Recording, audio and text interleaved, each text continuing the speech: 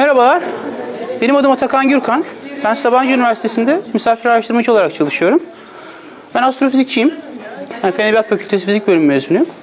Benim çalışma konum yıldız kümeleri. Yani yıldız kümelerinin devinimi. Bu ben sabahleyin dün size dağıtılan ve sizin doldurduğunuz küçük kağıtları okudum. Orada yıldız kümeleriyle ilgili bir soru vardı. Onu yeri gelmişken bir yanıtlamak istiyorum. Yıldız kümeleri gerçekten yıldızların çok yoğun olarak bulundukları bölgeler. Benim çalıştığım doktora konumda çalıştığım yıldız kümeleri küresel kümelerdi. Bu küresel kümeler o kadar yoğun ki bizden güneşe en yakın olan yıldıza kadarki mesafede yani bizim güneş çevresinde burada iki tane yıldız var. Küresel kümelerde on binlerce, yüz binlerce yıldız var. O kadarlık bir hacmin içerisinde. Benim çalışma konum onların birbirleriyle yıldızların yer çekimi, kütle çekimi vasıtasıyla etkileşimi ve böylece yörüngelerin değişmesi. Bu yörünge değişimi sonucunda o kümenin evrimi. Başka yerde yıldız kümeleri görüyoruz. Bunlardan daha seyrek olan yıldız kümeleri var. Açık yıldız kümeleri. Galaksi merkezlerinde büyük kütleli kara deliklerin çevresinde yoğun yıldızlar var. Bunlara e, çekirdek kümeleri diyoruz. Ben bilgisayarda simülasyon yaparak bunların devinimlerini çalışıyorum. Şimdi bugün üzerine konuşacağım konu gökyüzünde hareketti. Aslında temel olarak aynı prensiplere dayanıyor. Yani kütle çekimine ve hareket kanununa. Yani kütle çekimi biliyorsunuz iki tane kütle birbirini çekiyor. Hareket kanununda bir şey ittiğiniz zaman kuvvet uyguladığınız zaman hızı değişiyor yavaşlıyor, hızlanıyor ya da hızının yönü değişiyor. Bu da tamamen aynı prensiplerle ama çok uzaktaki yıldızlardan değil, bugün güneş sisteminden hatta bizzat üzerinde bulunduğumuz dünyanın hareketinden bahsedeceğim daha çok. Birazcık da aydan bahsedeceğim. Şimdi konuşmanın başlığı aslında biraz yanıltıcı. Çünkü Ali Hoca da bugün değindi. Uzay o kadar böyle devingen, her şeyin çok fazla oynadığı, hızlı hızlı değiştiği, bu değişimleri gözümüzle görebileceğimiz bir yer değil. Şimdi burada çok net gözükmüyor ama bu çok tanıdık bir isim galiba dün de bahsedilmiş. Orion'daki büyük bulutsu, avcı takım yıldızındaki büyük bulutsu, Orion bulutsu çok meşhurdur. Herkes bunun resmini çeker. Şimdi bu 4-5 sene önce çekilmiş bir resim. Açın eski dergileri, kitapları, teleskop kataloglarını 40-50 sene önce çekilmiş resme bakın aynı şeyi göreceksiniz. Ki burası bir yıldız oluşum bölgesi. Hidrojen bulutları var. Yıldızlar burada oluşuyor. Burada bir yıldız kümesi var. Yıldızlar birbirine çarpışıyorlar, ölüyorlar falan. Yani çok aslında astronomik açıdan bir sürü ilginç olayın olduğu yer. Ama bunlar o kadar yavaş oluyor ki. Yani yıldızların oluşması, çarpışması, ortadan kalkması milyonlarca yılda oluyor. Dolayısıyla 50 sene önceki fotoğrafa baksanız yine aynı şeyi göreceksiniz. Ama biz dünya yüzeyinden gökyüzüne baktığımız zaman pek çok farklı olay görüyoruz. Ne bunlar? En kolay fark ettiğimiz şey güneşin doğup batması. Evet, gündüz ve gecenin olması. Gene hepimizin aşina olduğu güneşin yıl içindeki hareketi var. Mevsimlerin oluşmasına yol açan. İşte yazın gündüzlerin biraz daha uzun olması, kışın daha kısa olması, gecelerin daha uzun olması ve güneşin yazın ufuktan daha fazla yükselmesi, kışın o kadar da fazla yükselmemesi. Benzer biçimde güneş dışındaki diğer yıldızların gece içinde bir hareketi var. Onlar da bazen güneş gibi doğuyorlar, batıyorlar. Bir kısmı da sadece yeri değişiyor gece içerisinde. Ve onların da geceden geceye bir hareketi var. Her mevsimde aynı yıldızları görmüyoruz. Yine bu güneş ve yıldızlar gibi ay da doğuyor ve batıyor. Fakat güneş ve yıldızlardan farklı olarak ayın bir de evreleri var. Ayın bazen bir kısmını, bazen tamamını, bazen diğer kısmını ama hep aynı yüzünü görüyoruz. Bir de bunlardan daha nadir olan ama çok daha çarpıcı olan tutulmalar var. Hem güneşin hem ayın rol oynadığı ama gene dünyanın hareketinin de içinde e, e, rol aldığı olaylar. Bundan başka fark edilen, daha zor fark edilen başka olaylar var. Bunlardan bugün bahsetmeyeceğim. Şimdi bu değişimlerin hemen hemen hepsi şu yukarıda bahsettiğim güneşin doğup batması, yıldızların gece içindeki gece hareketleri, e, güneşin mevsimden mevsime olan hareketi filan iki tane olayla açıklanabiliyor. Nedir bunlar? Dünyanın kendi çevresine dönmesi ve dünyanın güneşin çevresine dönmesi. Yani gün içinde olan olaylar bir günde tamamlanan dünyanın kendi çevresine dönmesine, yıl içinde olan olaylar da bir yıl içinde tamamlanan dünyanın güneşin çevresine dönmesine bağlı. Bu diğer olaylar, şu son ikisi ayın evreleri ve tutulmalar da diğer gök cisimlerin, bu örnekte ayın benzer hareketlerinden kaynaklanıyor. Bütün gök cisimleri buna benzer hareketler yapıyor. Bütün gök cisimleri kendi çevresinde bir miktar dönüyor. Ali Hoca bahsetti örneğin güneş şekillerine baktığımız zaman güneşin de kendi çevresinde döndüğünü görüyoruz. Jüpiter'i gözlerseniz Jüpiter'in kendi çevresinde döndüğünü görüyorsunuz. Jüpiter'in uyduları Jüpiter'in çevresinde dönüyor. Jüpiter de güneşin çevresinde dönüyor. Bütün gök cisimleri benzer hareketler yapıyor. Bu tabii ki bir tesadüf değil. Bunun sebebi konuşmanın başında söylediğim bütün bunların ortak fizik yasalarından çıkıyor olması. Yani hareket kanunundan ve kütle çekim kanunundan. Şimdi bu iki hareketi, dünyanın iki hareketini biraz daha ayrıntılı inceleyelim. İlk hareket güneşin çevresindeki hareketi dünyanın. Gene Ali Hoca bahsetti. E, Dünya ve diğer gezegenler Güneş'in çevresinde bir elipsi takip ediyor. Bu elipsin bir odağında da Güneş var. Şimdi elipsin ne olduğunu bilmiyor ya da hatırlamıyor olabilirsiniz. Elips bir geometrik şekil, çok basit bir geometrik şekil. Çizmenin yolu da şöyle, iki tane raptiyeye çevresinden bir iplik geçiriyorsunuz, ucuna bir kalem koyuyorsunuz. Onu dolaştırdığınız zaman bir elips çiziliyor. Bu raptiyeler de o elipsin odakları. Şimdi hemen belirteyim. Bu bizim dünyamızın yörüngesine nazaran çok mübalağalı bir elips. Dünyanın yörüngesi aslında çembere çok çok yakın. Yani ben size göstersem dünyanın yörüngesinin yukarıdan çekilmiş halini, yanına bir çember çizmesem onun çember olmadığını anlamazsınız. Çemberle karşılaşınca evet bu biraz basıkmış diyorsunuz ama onun dışında anlamak zor. Bu bir takım fikirleri daha rahat anlatabilmek için çok- çizdiğim çok mübalağalı bir elips. Odaklar aslında birbirine çok yakın güneşin. Şimdi bu yörüngenin üzerinde dünya özel bir hareket yapıyor. Kepler yasalarına uygun. Nedir bu? Dünya ile güneşi birleştiren bir çizgi düşünün. Eşit zamanlarda bu çizgi eşit alanlar tarıyor. Kepler yasasının ifadesi bu. Bu ne demek? Dünya güneşe yakınken güneşe uzak olduğundan biraz daha hızlı gidiyor. Neden? Şimdi burada iki tane üçgen var. Dedik ki dünyanın buradan buraya gitmesi, buradan buraya gitmesiyle aynı süreyi alıyorsa şu üçgenin alanı bu üçgenin alanına eşit olmalı. E bu üçgen bu daha uzak olduğuna göre üçgenin yüksekliği fazla. Eğer bunlar alanlar aynıysa taban alanı daha küçük olmalı. Demek ki aynı zamanda daha az yol kat ediyor, daha yavaş. Yani dünya güneş çevresine böyle geliyor. Güneş şurada olsun. Geçerken bir hızlanıyor, yavaşlıyor. Hızlanıyor, yavaşlıyor. Böyle bir hareket yapıyor. Dünyanın diğer önemli hareketi yine herkesin aşina olduğu dünyanın kendi çevresinde değişmeyen bir açısal hızla dönmesi. Burada değişmeyen açısal hızla kastettiğim şey hem dünyanın dönme hızı değişmiyor. Yani dünya kendi çevresinde 24 saatte bir günde dönüyor. Yani bir gün 25 saatte, bir gün 23 saatte falan dönmüyor. Hep aynı hızda ve hep aynı istikamette. Dönme da değişmiyor. Yani şimdi şunu dünya olarak alırsam bunu tam şu e, ortasından geçen bir eksen etrafında çevireceğim. Hep bu istikamette gidiyor. Nereye giderse gitsin, ne yaparsa yapsın hep bu istikamette. Şöyle gidersem de bu istikamette, böyle gidersem de bu istikamette. Şimdi bu aslında kafada canlandırması çok kolay bir şey değil. Yani bazıları hemen yapabiliyor. Bazıları zor yapıyor. Şimdi bunu biraz ayrıntılı göstereceğim. Ali Hoca da yarın çok ayrıntılı anlatacak. Şimdi bu ben güneş olayım. Bu da dünya. Kendi çevresine dönüyor dünya. Tamam. Şimdi benim çevremde dönerken böyle dönmüyor. Şimdi böyle dönerse bunun dönme ekseni değişiyor olacak. Şimdi başlangıçta dönme ekseni bu tarafa doğru. Aldım, döndürdüm. Şimdi dönme ekseni bu tarafa doğru. Böyle bir şey yapmıyor. Yaptığı şey şu. Diyor. Bu biçimde. Arkaya geçti bu biçimde. Buraya geldi hala o biçimde. Bu için tamamlanıyor. Mevsimler de bu yüzden oluşuyor. Yani şeyi düşünün. Burası kuzey yarımküre, burası güney yarımküre olsun. Şimdi güney yarımküre bana yakın. Tamam, kış, kuzey yarımküre daha uzak. Döndü geldi. İkisi eşit uzaklıkta. İlkbahar oldu. Geldik aa, kuzey yarımküre daha yakın. Yaz oldu. Geldik eşitler. Sonbahar, kış. Şimdi burada biraz yalan söyledim. Yakınlıkla alakası yok. Eksen eğikliğiyle alakası var bunun. Ama temel fikir bu.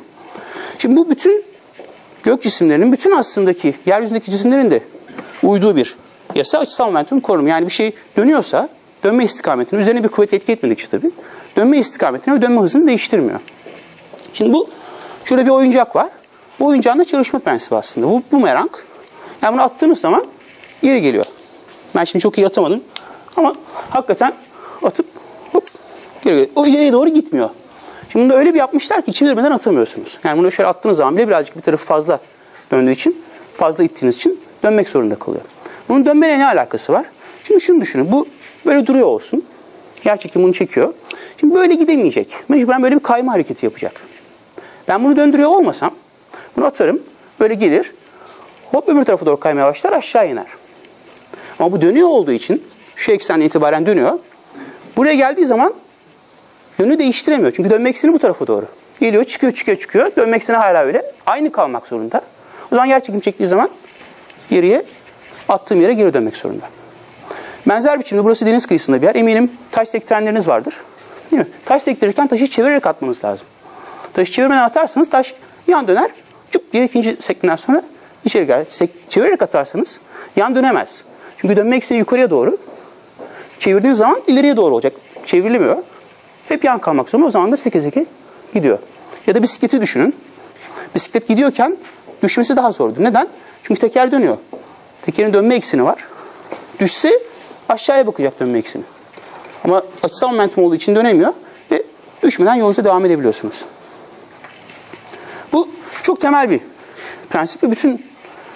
Aslında bu, bugün anlatacağım şeyler de bu, buna dayalı. Yani dünya dönmeyen bir eksen etrafında güneş çevresinde güneşe da, yakınken daha hızlı bir şekilde dönüyor ve bu anlatacağım olayların hepsini aslında buradan çıkartmak mümkün. Bu kadar basit bir şey. Ama bunu yapabilmek için şimdi biraz Ali Hoca'nın da bahsettiği birkaç kavramı tanıtmak istiyorum. Bir tanesi gök küre. Bu gök cisimlerinin hareketlerini tarif etmek için kullandığımız ve böyle dünyanın yüzeyinden çok uzakta bütün yıldızların üzerinde olduğunu varsaydığımız bir küre. Şimdi biz yıldızlardan bahsediyorken daha ziyade işte Orion'un altında şu var, Sirius'un solunda bu var filan deriz. Orion arkasında daha uzağında şu, önünde daha daha yakında bu gibi şeyler söylenmez. Çünkü hepsi çok uzakta zaten. Bizim için önemli olan doğrultusu. Dolayısıyla bunların hepsi aynı uzaklıkta ve çok çok uzaklarda bir kürenin üstündeymiş gibi düşünebiliyoruz. Bunun bize sağladığı şey ne? Biz diyeceğiz ki dünya kendi çevresinde dönüyor ama biz şimdi dünyanın biz üzerindeyiz. Biz dünyanın önünü pek fark etmiyoruz. Yani ben şimdi fark eden var mı burada? Var dese yalan olacak çünkü ne tarafa dönüyor diyeceğim. Dışarı çıkıp kuzey neresiydi falan diye düşünmeden söyleyemezsiniz. Ne tarafa dönüyor çünkü fark edilir bir şey değil. Ama dünya fark edilir bir şey olmadığı için de biz bunu dünya yerinde dönüyor, gök küre onun çevresinde dönüyor gibi düşüneceğiz. Dünya dönmüyormuş da gök küre onun çevresinde dönüyor gibi betimleyeceğiz işleri. Bunun tabi getirdiği başka faydalar da onları özellikle tutulma sırasında çok net göreceksiniz. Bu o kadar işe yarar bir şey ki gökküre kavramı. Tıpkı yer küre üzerinde işte ülkelerin, nehirlerin, ırmakların birbirine göre konumları nasıl anlatmak için biz yer küreler yapıyoruz. Bunun gibi gök küreler de yapılmış. Bu Almanya'daki müzedeki bakırdan yapılmış bir gök küre. Metal bir gök küre. Şimdi gök küre bize ne getiriyor? Birincisi şu şekle baktığınız zaman hemen yerimize ve zamana bağlı olarak yıldızların sadece bir kısmını görebileceğimizi çıkartabiliyoruz. Mesela biz şurada olalım. Dünyanın şu noktasında. Sadece gökküre üzerindeki bu yıldızları görebileceğiz. Şimdi gökküre döndüğü zaman şuradaki yıldızlar buraya gelecek. Buradaki yıldızlar oraya gidecek. Başka yıldızları görebileceğiz. Şuradaki yıldızlar gökküre ne kadar dönerse dönsün hep aşağılara bir yerde kalacağı şey. Biz burada kuzey yarımküredeysek hiçbir zaman göremeyeceğiz. Şuradaki yıldızlar da gökküre ne kadar dönerse dönsün hep görüş açımızda olacaklar. Yani bu yıldızlar hiçbir zaman doğmayacak, batmayacak. Hep gök, gökyüzünde kalacak. Bunlar da hiç doğmayacak, batmayacak. Hep dışarıda kalacak. Buradakilerin bir kısmı da doğacak ve batacak. Burada iki özel nokta var. Bunların bir tanesini görebiliyoruz. Kuzey kutup noktası. Diğerini göremiyoruz. Dünyanın arkasında kalıyor. Güney kutup noktası. Bu noktalardaki yıldızlar değişmiyor. Bundan Stellarium programının tanıtımı sırasında da bahsedildi. Galiba dün de bahsedilmiş. Burada biz şanslıyız. Kuzey yarımkürede orada yakınlarda bir yıldız var. Kutup yıldızı dediğimiz, Polaris dediğimiz. Bu yıldızın yeri hemen hemen hiç değişmiyor. Yani o aslında tam kutupta değil ama birazdan onu da bir resimde göstereceğim. O kadar yakın ki oradaymış gibi varsaymak çok büyük bir hata değil. Şimdi kutup yıldızı e, e, yani burada bahsedildiği için muhtemelen böyle bir inanış yoktur ama bazen insanlar en parlak yıldız falan diye düşünüyorlar. Böyle bir şey yok. Kutup yıldızı alelade bir yıldız. Tesadüfen yani nispeten parlak bir yıldız ama onun civarında ondan parlak bir sürü yıldız var. Tek özelliği kutupa, kutup noktasına çok yakın olması. Örneğin burada kutup yıldızını görebilen var mı? Vallahi bravo. Şu. Şu çünkü büyük kepçe. Değil mi? E, tamam siz talim misiniz? Tamam konuşma bitti. Evet. Bu kadar. Bu büyük kepçe. Büyük kepçeden kutup yıldızını bulabiliyoruz. Bu arada gökyüzü çok açıkken bunu bulmak aslında daha zor oluyor. Çünkü dediğim gibi kutup yıldızı aslında nispeten parlak. Şimdi burada sadece parlak yıldızlar gözüktüğü için kolayca bulunuyor ama bazen mesela her sene saklı kentte gözlem şenliği yapılıyor. Orası böyle deniz seviyesinden çok yukarıda. Çok da karanlık bir yer. Orada yani bulabiliyorsunuz tabii tecrübeliyken ama en zor orada bulunuyor. Bizim Sabancı Üniversitesi ve şehrin yakınında bir sürü ışık kirliliği falan var. Orada bulmak daha kolay Sabancı Üniversitesi'nde bulmak. Onu da bir not olarak söyleyeyim. Şimdi kutup yıldızını çevresinde yıldızların döndüğünü gözle görmek biraz zor. Fakat fotoğraf makinesi kullandığınız zaman hemen gözükecek bir şey. Bunu nasıl yapıyoruz? Bu kadrajın içine kutup noktası düşecek biçimde fotoğraf makinemizi bir tripodun üstüne koyuyoruz ve uzun pozlama yapıyoruz. Şimdi bu eski zamanda çok zordu filmler kullanılıyorken çünkü uzun pozlama yaptınız. Eğer asası doğru değilse işte diyafram ayarı doğru değilse film yanar. Değil mi? İşte işe ise çok azsa bu sefer de yıldızları hiç gözükmez. Yani ikisi arasında bir şey tutturmanız lazım. İşi biliyor olmanız lazım. Şimdi dijital kameralarla çok kolay. Çünkü bu mesela 20 küsur fotoğrafın birleştirilmesiyle oluşmuş bu fotoğraf. Her biri temiz. Bu temiz fotoğrafları Uğur abi, Uğur ikizler fotoğrafı çeken kişi birleştirmiş ve böyle bir resim ortaya çıkmış. Şimdi bu resimde hemen görebileceğiniz ve dışarı çıktığınız zaman kutup yıldızını da hemen görebileceğiniz bir şey kutup yıldızı tepe noktasında değil. Yani biz dünyanın kutubunda olmadığımız için dünya bizim tepe noktamız çevresinde dönmüyor. Biraz böyle ufukta, ufuktan yukarıda bir noktada. Şimdi bunu şöyle canlandıracak bir resim çizmeye çalıştım. Bu dünyanın yüzeyi olsun. Şurada kutup noktamız var, kutup yıldızı. Bunun hemen önünde kuzey ufku var, arkasında güney ufku var. Buradaki özel noktalar adları var. Tam tepe noktamız başucu noktası, İngilizcesi zenit. Bazen bunu İngilizce olarak da kullanıyoruz. Bu ayak ucu noktası, göremediğimiz bir nokta. Nadir noktası. Bir de şuradan kutup yıldızından ve başucu noktasından geçip ufka dikinen bir çember var. Bu gene tabii sanal bir çember. Görebildiğiniz bir çember değil, kafanızda canlandırmanız gereken bir çember. Bu çemberin adı meridyen. Bu da önemli bir araç. Ee, stelaryum sırasında çok kısa gösterdiler. Meridyenin tanımı bu. Kutup noktasından ve e, başucu noktasından geçen büyük çember. Yıldızların hareketlerini falan meridyenden şu zamanda geçti, bu zamanda geçti diye bazen tanımlandığını duyabilirsiniz. O açıdan çok önemli bir araç. Bunu gök küre üzerine çizersem böyle bir şey olacak. Tabi her noktanın meridyeni farklı. Çünkü her noktada kutup yıldızının konumu farklı olacak. Her, yani bu mesela ben biraz denk getirmeye çalışıyorum. Türkiye şuradaysa işte şuradan falan geçer diye. Benim de böyle üç boyutlu düşünme yeteneğim pek iyi değil. Siz kafanızda onu düzeltirsiniz, canlandırırsınız. Şöyle bir meridyen olacak. Bu bizim kutup noktalarına eşit uzaklıktaki büyük çembere ki bunun adı da ekvator. Ekvator çemberine dik bir başka çember. Şimdi birazcık daha kafaları karıştıracağım. Tekrar hatırlatıyorum bu ekvator çemberi. Bu meridyen. Şimdi bunu tekrar ilk çizdiğim şekli alırsak böyle bir çembere karşılık geliyor ekvator. Bu ekvator dediğim şey, ekvator denmesinin sebebi dünyanın ekvatorunun gök küre üzerindeki iz düşümü gibi. Yani bu dünya ekvatorunu alın, şu Afrika'nın ortasından geçen falan şeyi bunun büyütün, genişletin, genişletin, genişletin. Gök küre dediği zaman böyle bir çember çıkacak. O çember de bize göre böyle kalacak. Kutup yıldızına ve e, e, görünmeyen kutupa eşit uzaklıkta meridyene dik bir büyük çember gökyüzünde. Şimdi meridyeni görmek fotoğraflarda falan mümkün değil ama e, ekvator düzlemini görmek mümkün. Şimdi şunu düşünün. Ekvator düzleminin biraz üstündeki yıldızlar demin gösterdiğim gibi kutup yıldızının çevresinde çemberler çizecek. Biraz altındaki yıldızlar göremediğimiz ama yerini kestirebileceğimiz güney kutbu çevresinde çemberler çizecek. Tam ekvatorun üzerindekiler de çember çizmeyecek. Düz bir çizgi izleyecekler. Bunu da Uğur abi çekmiş. Uğur ikizlerin çektiği fotoğraf. Şimdi buradakiler, burası kuzey kutbu şuralarda bir yerlerde herhalde. Şu tarafa doğru eğimli. Buradakiler yani birazcık hayal gücünüzü kullanmanız gerekiyor. Hakikaten yakından bakınca öyle. Şu tarafa doğru eğimli. Burada gök ekvatoru. Buradan ki yıldızlar hiçbir tarafa doğru eğrilmiyorlar gökyüzünde hareket ediyorken. Bunun hangi takım yıldızı olduğunu bilen var mı? Burada bir, bir takım yıldız var aslında. Orion takım yıldızı. Bu ekvatorda olduğunu ekvatordaki yani tek ilginç, en ilginç cisim herhalde Orion. Bu Orion takım yıldızı ama tabii ki yıldızlar hareket ettiği için şu an belli olması mümkün değil. Şimdi bu gece içindeki değişikliklerdi. Gece içinde yıldızlar ne yapıyorlar? İşte kutup yıldızının çevresinde dönüyorlar. Bir kısmı dönmüyor ekvator düzleminde falan. Bir de geceden geceye gökyüzünde gördüğümüz değişiklikler var. Şimdi her burada yazdığım gibi her mevsimin kendine has bir gökyüzü var. Örneğin burada yaz üçgenini görüyorsunuz. Nerede görüyorsunuz? Şu, şu ve şu yıldızlar. Bu Vega, çalgı takım yıldızının bir yıldızı. Şu Altair, kartal takım yıldızının yıldızı. Bu Deneb, Ku. Doğru gösteriyorum değil mi? Şu Ku takım yıldızının yıldızı Ku'nun kuyruğu. Yani bunlar yani şimdi burada Samanyolu çok böyle fotoğrafta iyi çıktığı için belli olmuyor ama gerçekten yaz gökyüzünde çok parlak üç tane yıldız. Bu adı üstünde yaz üçgeni yazın gözüken. Üç tane yıldız. Buna karşılık kışın gözüken deminki resimde de aslında gördüğümüz zaman tanıyamadığımız Orion takım yıldızı var. Bu da yazın gözükmüyor. Hiçbir zaman gözükmüyor. Yani e, kışın gördüğümüz yıldızları yazın, yazın gördüğümüz yıldızları kışın göremeyebiliyoruz. Bazı yıldızları hep görebiliyoruz. Örneğin kutup yıldızı her zaman gökyüzünde. Ama bazı yıldızlarda böyle. Bunun sebebi neydi? Dünyanın güneşin çevresinde dönüyor olması. Şimdi bunu ilk başta böyle betimleyebiliriz. Güneş ortada, dünyanın çevresinde dönüyor. Ama ben bunu tekrar gök küre üzerinde göstermek istiyorum. Dünyanın bakış açısından dünya ortada duruyor. Güneş gök küre üzerinde bir yol izliyor.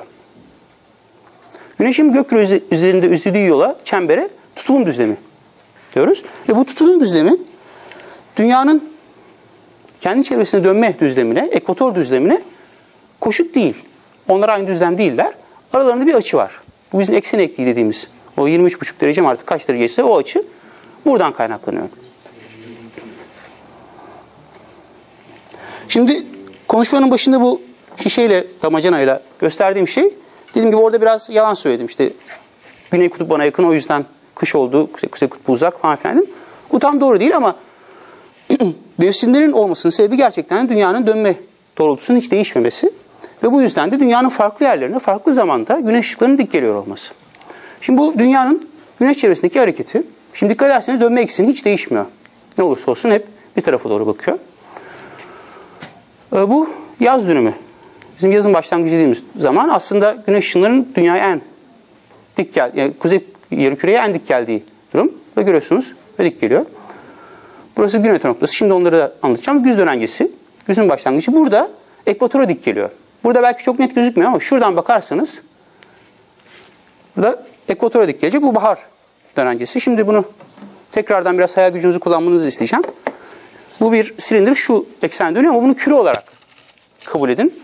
Böyle küre olduğu zaman aşağılarda bir noktaya benden çıkan ışıklar dik gelecek.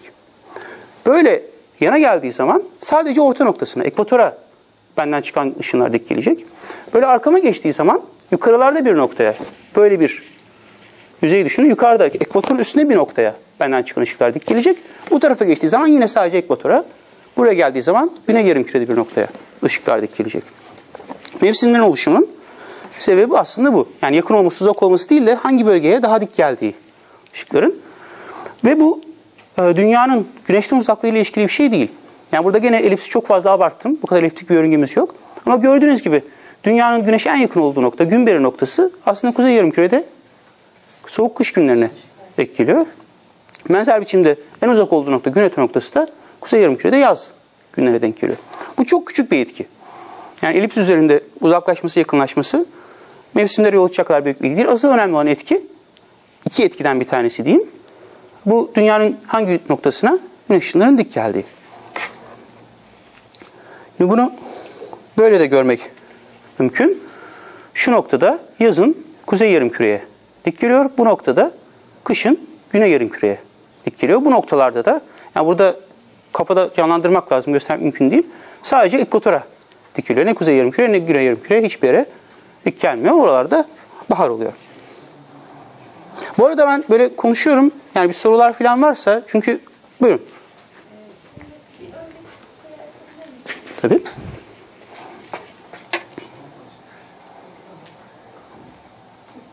Burayı mı? Evet. Ee, şimdi kuzey bu şeyde hani kuzey yarımkürede e, kış ya.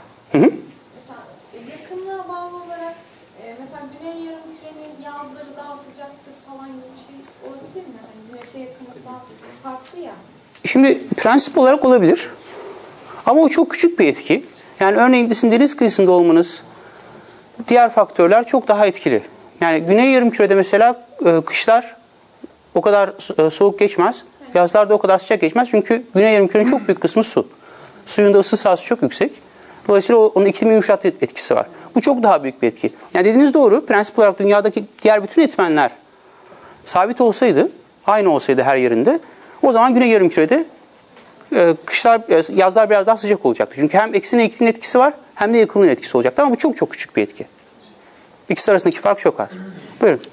Konuşmamızda ilk başlarken ayın, e, ayın devamlı aynı yüzeyini gördüğünüzü söylediniz. Hı hı. Yani ters yönde aynınızdan mı dediniz?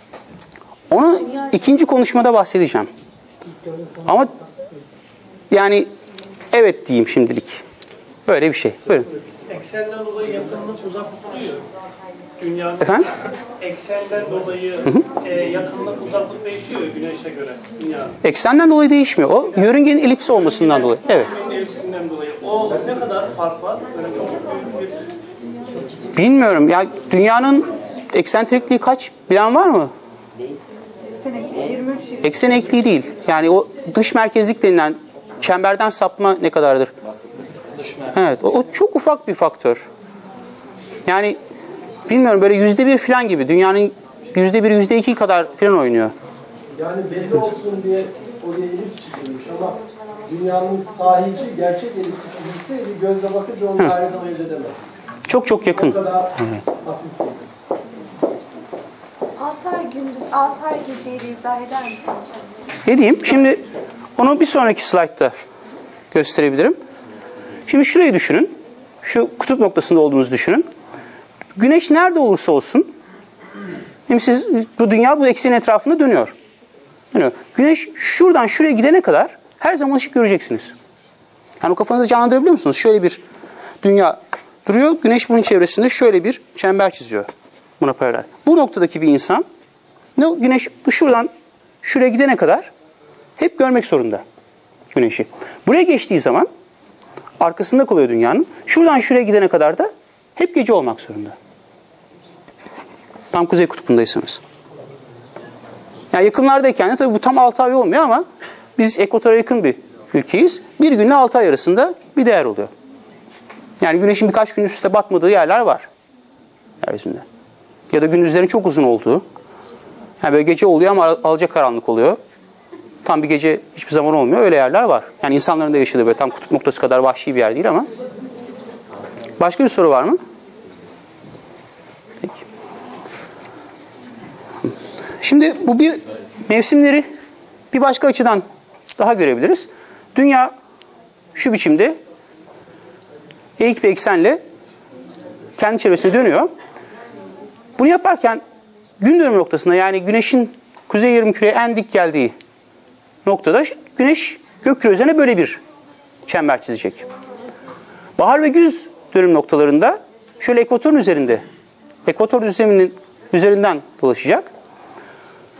Ee, kış gün dönümünde de güney yarımküre en dik geldiği noktada böyle bir çember çizecek gök küre üzerinde. Şimdi bunu alalım. Biraz düz hale getirelim. Benim gibi üç boyutlu düşünemeyenler için. Şimdi buraya baktığınız zaman yine bir iki gözlediğimiz, hepimizin bildiği iki olayı açıklıkla görebiliyoruz gökküre üzerinde. Şimdi dedik ki biz Türkiye'deysek, şurada bir yerdeysek gökkürenin sadece şu kısmını göreceğiz. Şimdi şu çembere bakarsanız şöyle bir yarısını alın gökkürenin. O yarımın içine üstteki çemberin yarıdan fazlası düşecek. Alttaki çemberin yarısı düşecek.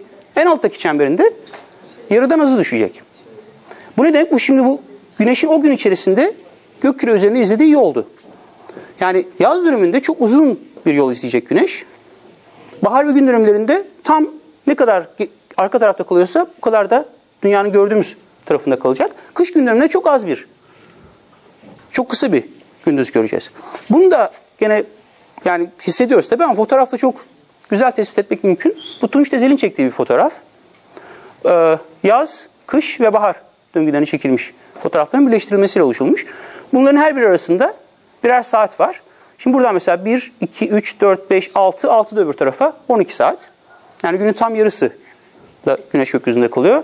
Buradan bakarsanız 1, 2, 3, 4, 5, 6, 7, 7 de öbür tarafta var 14 saat olmuş. Şurada kışın en kısa günde 1, 2, 3, 4, 4 de öbür tarafta var 8 saat gökyüzünde kalmış güneş.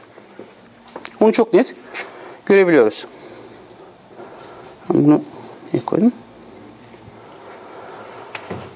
Biraz yapacağım. Şimdi bu Stellarium'da bundan bahsedildi ama bir mouse var mı? Ben Stellarium'da bir şey göstermek istiyorum ama. Yanınızda mouse var mı? Yok tamam. O zaman ben sözle anlatayım. Şimdi burada şu şekilde güneşin Mouse arabadan geliyor herhalde. Tam bu, bu- Arabada değil mi? Yoksa Şimdi birazcık mouse geldiği zaman onu da eklerim. Burada güneşin gök küre üzerinde izlediği yolu görüyorsunuz. Bu da bu yolun yani gök küreyi alıp bir harita gibi düz bir zemine yayarsam nasıl bir yol izleyeceği. Bu yıldızları şimdi burada tabii tanımak biraz zor. Şu ekvator, bu samanyolu. Ekvatora yakın olan takım yıldızlar belli olabiliyor. Mesela şu Orion, şu belki tanınabilir, büyük kepçe falan. Bu tabii çok deforme olmuş. Onun sebebi küresel bir yüzeyi düz bir zemini açtığınız zaman mutlaka deformasyon olacak. Örneğin dünya bu hale geliyor. İşte kutuplar çok büyük. Şöyle genişlemiş. Afrika aslında çok büyük bir kıta ama burada ufacık gözüküyor. Avustralya çok büyük gözüküyor. Avrupa'dan daha büyük gözüküyor falan. Böyle bir deformasyon var. Bu projeksiyonu yaptığımız zaman güneşin gökyüzünde izlediği yol şöyle bir yol. Burada gri ile gösteriyorum. Bilmiyorum arkalardan gözükebiliyor mu? Şu ekvator tekrar hatırlatıyorum. Şu Samanyolu. Şu da tutulum düzlemi. Güneşin gökyüzünde izliyor. Şimdi biraz yardımcı olması için takım yıldızların çizgilerini koydum. Şimdi herhalde büyük ayı daha rahat tanınıyor. Şu küçük ayının küçük kepçesi şuraya bağlı. Ee, şu benim burcum Oğlak. Onu ben tanıyorum. Şurada Herkül var. Yani şu çalgı takım yıldızı, şu Vega. Burada Ku vesaire. Bunun tabi bundan bahsettim. İsimlerini de koymak mümkün. Şimdi şu güneşin izlediği yol üzerindeki takım yıldızlara bakalım. Şu Aquarius yani Kova, Capricornus, Oğlak, Sagittarius, Yay, Scorpio, Akrep, Libra, Libra Terazi, bu Virgo, Başak, Leo, Aslan, Cancer, Yengeç, e, Yengeç evet. Bu ne? Gemini, İkizler, Taurus, Boğa, Aries, Koç, Piskes de Balık. Bunlar horoskopun, zodyağın 12 yıldız. Yani bizim bu horoskoplarda, yıldız falında falan filan okuduğumuz şeyler güneşin doğduğumuz zaman hangi burçta olduğuna dair bilgi veriyor. Ama bu da tam olarak doğru değil. Neden? Şimdi mouse gelmiş. Çok teşekkür ederim. Bu bunu nasıl çalıştırıyorum? Bunu bir yere mi takmam lazım? Tamam. Şu yan tarafa takabilirsiniz. Şimdi bu sitelerimden göstereceğim. Ben 8 Ocak doğumluyum. Oğlak Burcu olmam lazım.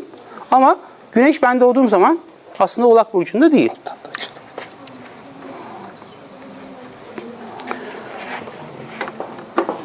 Şunu aslında çıkalım.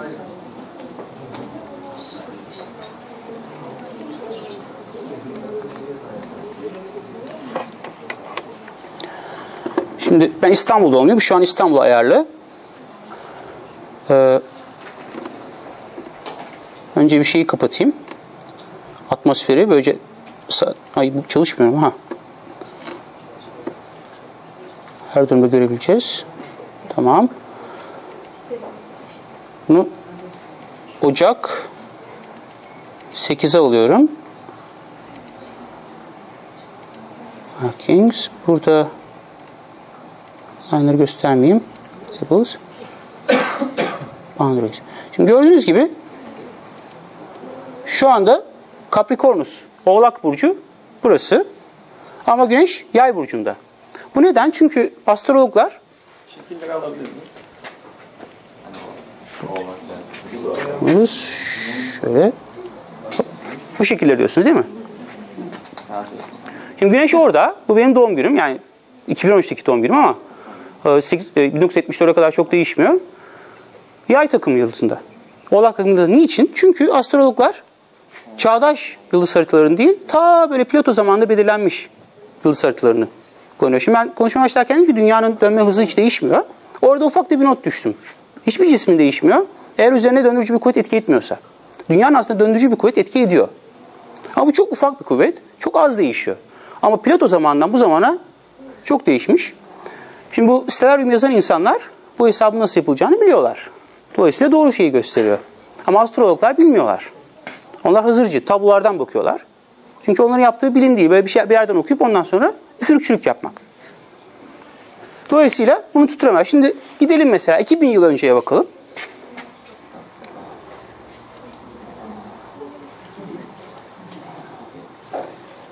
Hop Oğlak Burcu'na geldi. Çünkü astrologlar çok artık yani miadı geçmiş tabloları kullanıyorlar. Dolayısıyla benim de Oğlak Burcu'nda olduğumu söylüyorlar. Şimdi bu konuyla çok ilgisi yok ama bunu mutlaka belirtmek istiyorum. Astroloji gerçekten aslında yani hiç herhangi bir bilimsel dayanağı olmayan hurafi bir şey. İnsanlar hakikaten kafadan bir şeyler atıyorlar. İşte herkese uyacak bir takım genelleştirmeler yapıyorlar. Böylece onları kandırıyorlar. Yani bunu niye bu kadar kesinlikle bu kadar acımasızca söyleyebiliyorum? Çünkü yani ben bir fizikçiyim. Evrendeki kuvvetleri biliyoruz. Şimdi evrende dört tane temel kuvvet var. E, kütle çekim var. Elektromanyetik kuvvet var. Bir de çekirdekte geçerli olan zayıf ve güçlü kuvvet var. Şimdi eğer yıldızların bana etki etmesi için o çekirdekteki kuvvetlerin bir etkisi olmaz. Onların menzili çok kısa. Gerçekten çekirdek düzeyinde etkiliyorlar. Bir elektromanyetik kuvvet olabilir. Elektromanyetik kuvvet olması için yıldızların bir yükünün olması lazım. Elektromanyetik olarak yani bir artı yüklü, eksi yüklü. O olamaz. Çünkü artı yükü varsa çevredeki eksi yükler gelir yapışır ona, nötr eder. Eksi yükü varsa artı yükler gelir yapışır, nötralize eder. Ben de zaten hemen hemen nötrüm. Kütle çekimi olması lazım. Ama kütle çekimi de çok uzun menzilli, hep de çekici bir kuvvet. Öyle hiçbir zaman sıfır olmaz. Fakat bu çok küçük. Yani şimdi bu Capricornus'un içindeki yıldızlara bir bakalım. Oğlak takım yıldızının içinde. Mesela şurada bir yıldız var. Bayağı da parlak herhalde yakındır. Ha, Alfa 2 Capricorni. Bunun uzaklığı ne kadarmış? Efendim? Resim olarak değil de çizgi olarak. Bakalım. Evet. Şimdi o, onun en parlak yıldızlarından bir tanesi. 108.6 ışık yılı uzaklığı. Orada yazıyor. En aşağı distance'ın yanında. Şurada yazıyor. E şimdi kütle çekimi iki cismin kütlesiyle doğru orantılı. Aralarındaki uzaklığın karesiyle ters orantılı. Işık yılı ne demek? Işığın bir senede aldığı yol. Işık saniyede 300 bin kilometre gidiyor. Yani 10 trilyon kilometre falan. 108. Bir trilyar, trilyondan sonra katrilyon kilometre ötede bu yıldız. Dolayısıyla bana etkisi de çok ufak. Yani bu yıldızın bana etkisi şuradan geçen kamyon etkisiyle aynı. Eğer astrologlar o yıldızın etkisini hesaba katıyorsa kamyonunkini de hesaba katmak zorunda. Şimdi diyebilirsiniz ki ama başka bir kuvvet olabilir. Olamaz. Çünkü bu kuvvetleri hesaba katarak yaptığımız hesaplar sonucunda ortaya çıkan davranışların hepsini görüyoruz. Başka bir kuvvet olsa o davranıştan bir sapma görürüz. Yani tam bu sadece bu yıldızlardan bir kuvvet ortaya çıkacak başka hiçbir yerde çıkmış. Evrende böyle bir şey yok. Yani evren çok şaşırtıcı biçimde fizikle ve matematikle anlaşılabilir bir yapı. Bunun niye olduğunu bilmiyoruz ama öyle. Yani buradaki fizik yasaları Ay'a da uygulanabiliyor. Uzak yıldızlara da, uzak galaksilere de uygulanabiliyor. Tam da benim burcumdaki yıldızlara uygulanamıyor diye bir şey olmaz. O yüzden böyle hakikaten, yani ben gerçekten bunu biraz acımasızca söylüyorum. Ama astrologların hak ettiğini düşünüyorum. Bu konuda söylenecek başka bir şey yok. Şimdi benim konuşmanın bu kısmında söylemek istediklerim bu kadar.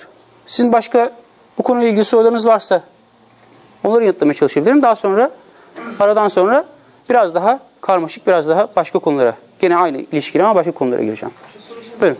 Şimdi e, burçlar için dedik ya güneş sürekli yer değiştirdiği için hani başka türlü yıldızlara denk geliyor. Peki başka bir cisim var mıdır ki yıllar geçse de hep aynı e, sabit duran yani takım yıldızların üzerine hep denk gelen. Hani böyle Ya o şey- yıldızların kendileri var tabii. Hani şöyle bir bahane olabilir mi? Onun için söylüyorum. Hani biz güneşe göre değil de hani e, çünkü bu hep yıl içerisinde değişebiliyor dedik. Ama yıl içerisinde değişmeyen başka bir gök cismi.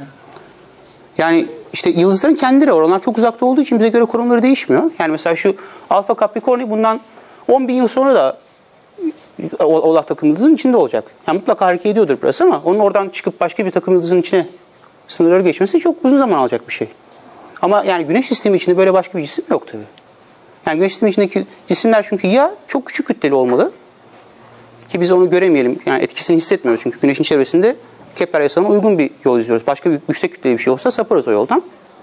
Ya da yani işte güneş var başka da bir şey yok maalesef. Buyurun.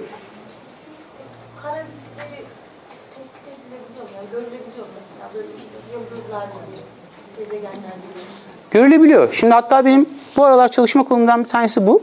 Bizim galaksimizin merkezinde Güneşimizin yaklaşık 4 milyon kütlesi ağırlığında da kütlesinde bir kara delik var. Bu kara deliğin çevresindeki yıldızlar tıpkı gezegenlerin Güneş çevresine dönmesi gibi eliptik yörüngeler izliyor. Ve biz bunları 20 yıllık, 25 yıllık gözlemler sayesinde tespit ettik. Yani çok az baktığınız zaman göremiyorsunuz tabii. Çünkü bayağı uzun sürüyor yörüngeyi tamamlaması.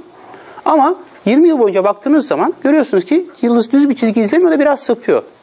İşte başka bir yıldız o civardaki o da düz bir çizgi izlemiyor biraz sapıyor. Sonra şey diyorsunuz nerede bir kütle olursa bunlar gerçekten böyle sapmalara yol açar. Çünkü hiçbir kuvvet etki etmiyorsa dümdüz gitmeleri lazım aynı hızda. Bunu çözdüğünüz zaman? Şimdi bu yollardan bir tanesi ama en temizi. Bunu yaptığınız zaman bir yerde bir 4 milyon güneş kütleli bir cisim var. Ama ışık gelmiyor. Bizim bildiğimiz fizik yasalarıyla uyumlu en geçerli hipotez orada bir kara delik olması. Çünkü çapı çok küçük. Oradan bir ışıma gelmiyor. Işıma gelmeyen bu kadar yüksek kütleli başka bir bildiğimiz cisim yok. Bir başka yolu kara delikleri tespit etmenin bir kara delik başka bir yıldızın çevresine dönüyorsa oradan kara deliğe kütle aktarımı olabiliyor.